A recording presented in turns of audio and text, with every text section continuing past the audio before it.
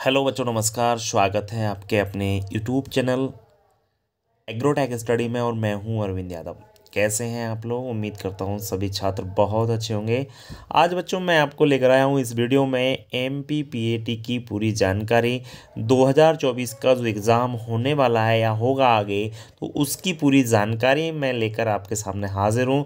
सबसे पहला जो क्वेश्चन रहता है बच्चों का, वो क्वेश्चन ये है, कि सर एग्ज़ाम कब भरे जाएँगे?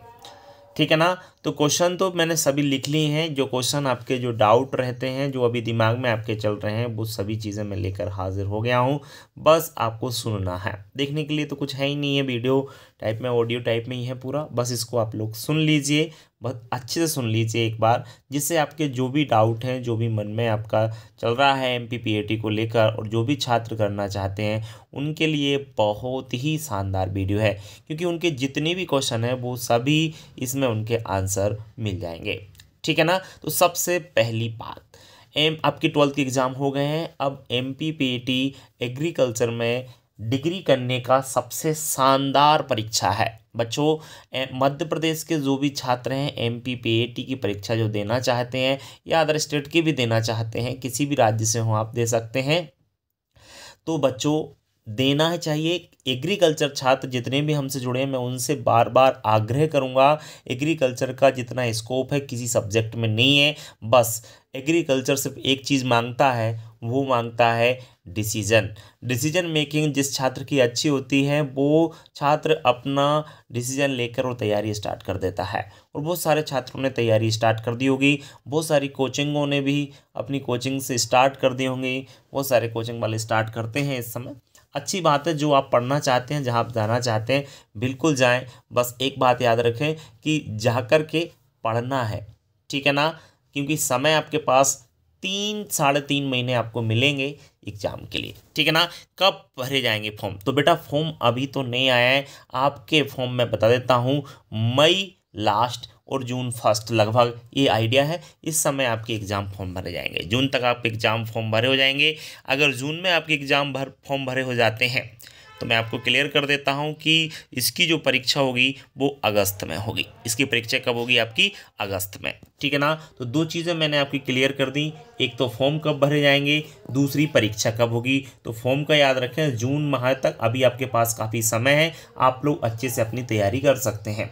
और अगस्त अगस्त में आपकी परीक्षा होगी। तो समय आपके पास भरमार है, क्योंकि अगस्त आपका आठवां महीना है और अभी चल कौन सा रहा है? तीसरा।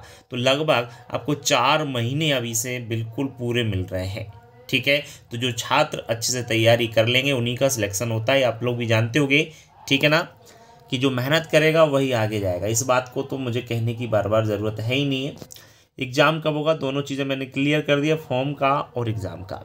तीसरा सुन लीजिए एग्ज़ाम सिलेबस क्या होगा? तो एग्ज़ाम सिलेबस यदि आप लोग देखना चाहते हैं क्या क्या चीज़ें पूरी डिटेल यदि आप लोग देखना चाहते हैं तो मैंने डिस्क्रिप्सन में लिंक दे रखी है। आपके हमारा जो एप्लीकेशन है। एप्लीकेशन में फ्री ऑफ़ कॉस्ट मैंने वहाँ पर डाल रखा है। फ्री मटेरियल स्टडी में आप लोग जाना। वहाँ पर पूरा सिलेबस डला हुआ है एम पी का। एम पी का सिलेबस चेंज नहीं होता है। वही सिलेबस आपका बीस साल से चला आ रहा है, वही सिलेबस है। तो टेंशन लेने की ज़रूरत नहीं है। सिलेबस सेम टू सेम है। आपके पास पुराना भी सिलेबस हो तो कोई दिक्कत नहीं है। आप उसी से भी तैयारी कर सकते हो। और यदि आप लोग के पास नहीं है सिलेबस तो जो लिंक दे रखिए उस पर अपना डिस्क्रिप्सन में जाइए। और एप्लीकेशन डाउनलोड कर लिए, वहाँ पे आपको पूरा सिलेबस मिल जाएगा। एक एक शब्द मिल जाएगा, पूरा मैंने डिटेल में डाल रखा है। फ्री अब स्टडी मटेरियल में देख लीजिए, वहाँ पे लिखा होगा फ्री स्टडी मटेरियल वहाँ पे आप लोग उसको देख लें, आपको पूरा मिल जाएगा। ठीक है ना? एम पी सिलेबस क्लियर चलिए, बात करें अगर एग्ज़ाम पैटर्न क्या रहेगा। तो एग्ज़ाम पैटर्न की मैं यहाँ पे बात करूँगा बच्चों। आपने ट्वेल्थ एग्रीकल्चर की है तो आपको पता होगा, हमारे ट्वेल्थ एग्रीकल्चर में तीन सब्जेक्ट हैं। फ़सल उत्पादन, पशुपालन और एलिमेंट ऑफ़ साइंस जिसको हम लोग कृषि विज्ञान एवं गणित के मूल तत्व कहते हैं। बहुत सारे लोग इसको पीसीएमबी के नाम से भी जानते हैं। तो एलिमेंट ऑफ़ साइंस कहते हैं। तो एग्ज़ाम पैटर्न रहता है बच्चों, दो सौ नंबर का आपके पेपर होता है, जिसमें आपका पचास नंबर का पशुपालन, पचास नंबर का फ़सल उत्पादन और सौ नंबर का आपका कृषि विज्ञान एवं गणित के मूल तत्व रहता है। ठीक है ना? तो इसमें सर सिलेक्शन कैसे होगा हमारा? कितने नंबर लाए हम लोग? कैसे क्वेश्चन आएँगे? तो बच्चों, इसके जो प्रश्न रहेंगे, ग्यारहवीं एग्रीकल्चर और बारहवीं एग्रीकल्चर दोनों कि पूरा सिलेबस रहता है। दोनों आपके जो ग्यारहवीं का, पचास परसेंट और पचास परसेंट बारहवीं का। बहुत सारे छात्र ग्यारहवीं को ढंग से नहीं पढ़ते हैं, ग्यारहवीं को हल्के में ले लेते हैं तो उनका कहीं ना कहीं नुकसान होता है यहाँ पे। फिर उनको जो है कोचिंग्स करनी पड़ती हैं तो उनको बहुत ही समस्याओं का सामना भी करना पड़ता है। पर टेंशन लेने की बात नहीं है, हम है ना आपके साथ आपको दिक्कत नहीं आएगी। सिलेक्शन प्रक्रिया क्या है?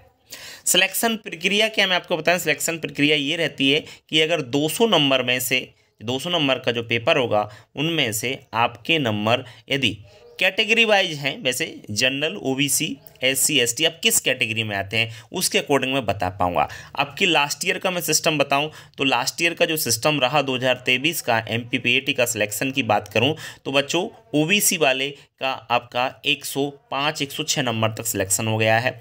है ना? जनरल वाले का 112 120 के बीच में सिलेक्शन हो गया है। ठीक है ना? और जो आपका एस सी एस टी का तो नब्बे पंचानवे नंबर तक भी, पंचानवे, चौरानवे, पंचानवे नंबर तक, पचासी नंबर तक भी सिलेक्शन हुआ है गर्ल्स का तो। ठीक है ना? तो गर्ल्स के लिए तो एस सी एस टी के लिए तो ये बहुत अच्छी चीज़ है उनको तो सिलेक्शन बिल्कुल आसानी से हो ही जाता है। दो सौ नंबर में से पचासी नंबर लाना कोई बड़ी बात नहीं है थोड़ी बहुत तैयारी कर लो उसमें ही आ जाते हैं। एस सी के लिए तो बहुत बड़ा फ़ायदा है।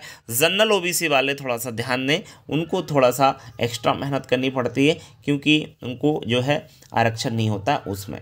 ठीक है ना? चलो कोई बात नहीं है बट हो जाएगा। यदि आप लोग पढ़ोगे तो बिल्कुल आपका सिलेक्शन आपका भी हो जाएगा। ठीक है ना? आ, आगे हम बात करें, तैयारी कैसे करना है? मैं एक बहुत बड़ी बात यहाँ पे बोलने जा रहा हूँ, जो छात्र यहाँ तक वीडियो देख रहे हैं, वो चीज़ मेरा अच्छी प्रकार से सुन लें इन बात को। बेटा, तैयारी की यदि मैं बात करूँ तो आपके पास तीन से चार महीने मिलते हैं। बहुत सारी कोचिंग वाले एम पी की तैयारी कराएँगे अलग अलग शहर में, इंदौर में ग्वालियर में, जबलपुर में, ठीक है ना? सीहोर में, मंदसौर में बहुत सारी कोचिंग्स चलती हैं। बहुत सारे बच्चे कोचिंग्स जाएँगे, जो भी है, कम से कम दस से बारह हज़ार रुपये आपकी फ़ीस रहेगी तीन से चार महीने की, और आपकी भीड़ इतनी रहेगी कि आप तो देख के ये कहोगे कि आप क्या, कुछ समझ में आए नहीं आए। तो यहाँ पर मैं एक चीज़ आपसे कहना चाहूँगा, यदि आपकी कहीं बाहर जाने की क्षमता नहीं है तो आप टेंशन ले लें। मेरा ऐसा मानना है कि सेल्फ स्टडी का जो मज़ा होता है ना वो किसी चीज़ में नहीं होता। जो बच्चा मेहनती हो जो बच्चा बाहर नहीं जा सकता हो उसकी हेल्प करने के लिए हमें हमने मोबाइल नंबर दे रखा है। एम पी की यदि आपको नोट्स की आवश्यकता है तो नोट्स अवेलेबल हम कराएँगे। ये हमारी ज़िम्मेदारी है। हम आपको पूरे नोट्स एम पी के उपलब्ध करा देंगे। लेकिन अब यहाँ पे एक प्रॉब्लम आती है बच्चे के लिए। वो ये रहती है कि आ, सर उसकी आप कुछ फ़ीस लोगे क्या? तो जी हाँ मैं आपको बता देता हूँ, फ्री चीज़ की कोई वैल्यू नहीं करता है। फ्री में दे दें आपको, आप उसकी वैल्यू ही नहीं करोगे। आपका मिल गया, ठीक है हाँ ठीक है।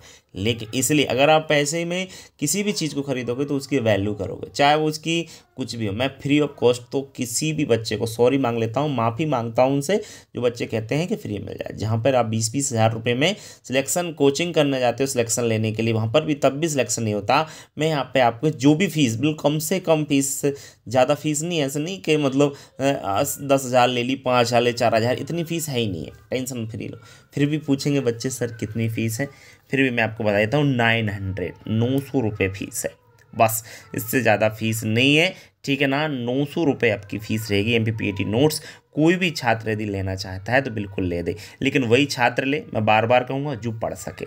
देखो बेटा माँ बाप के पैसे ऐसे ख़राब नहीं करने हैं, ऐसे आपको बर्बाद नहीं करने हैं कि ले लिए, वो फिर पढ़ नहीं रहे टाइम पास। वो पैसे हमारे बिल्कुल नहीं बचेंगे। हमारे कोई काम नहीं आएँगे पैसे। यदि आप पढ़ सको, मेहनती स्टूडेंट हो तो ही हमारे नोट्स लें। ठीक है ना? जो मेहनत करेगा, उसका सिलेक्शन श्योर हो जाएगा, क्योंकि तीन से चार महीने बहुत होते हैं पढ़ने के लिए। ठीक है? रेगुलर ढंग से तीन से चार घंटे पर डे बच्चा पढ़ ले, ज़्यादा पढ़ने की ज़रूरत भी नहीं, तीन चार घंटे काफ़ी होते हैं। आप कहोगे, सर, हमने तो एक बार नोट्स को पढ़े, बहुत सारे बच्चे ले चुके हैं, अभी नोट्स ले रहे हैं। पर डे बच्चे, चार छः चार छः बच्चे नोट पर डे नोट्स ले रहे हैं।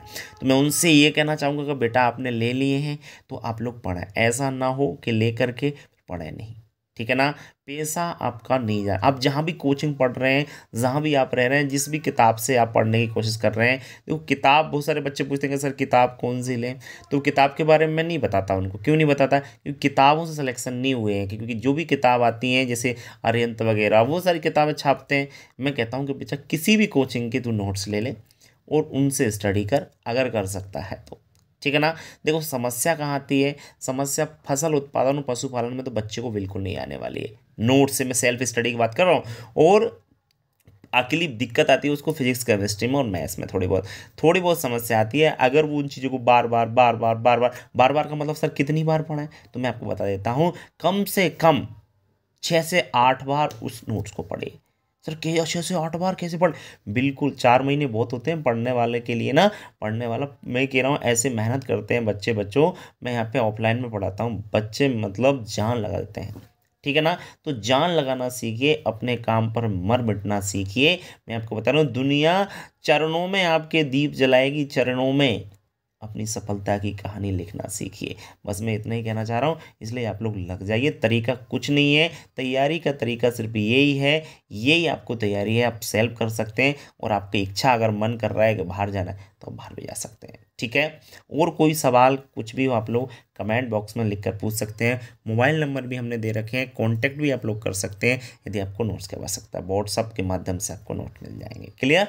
चलिए, आपने अगर मेरी पूरी बात समझी है तो अच्छी बात है, फिर भी कोई डाउट है तो आप पूछ सकते हो। क्लियर चलिए, ठीक है।